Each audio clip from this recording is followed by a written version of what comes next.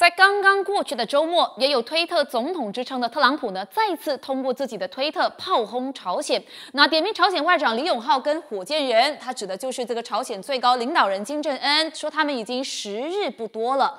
那结果就有网民留言称赞这个特朗普呢是史上最有胆识的总统。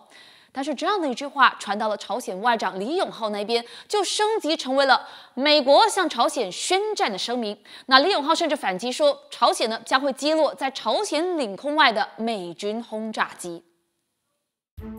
권리를포함해서모든자위적대응권리를보유하게될것입니다 朝鲜外长李永浩在前往机场离开美国纽约时，向记者抛下了这句话。另一方面，朝鲜一个对外宣传网站公布了一段模拟视频，展示朝鲜对美国轰炸机跟航空母舰进行军事打击的假想场景，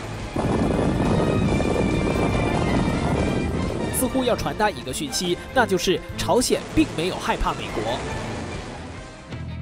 就在朝美双方对于开战就像箭在弦上的当儿，白宫发言人桑德斯就召开记者会灭火。他强调，美国无意向朝鲜开战，并表示朝鲜外长李永浩的言论相当荒唐。We've not declared war on North Korea, uh, and frankly, the suggestion of that is absurd. It's never appropriate for a country to shoot down another country's aircraft when it's over international waters.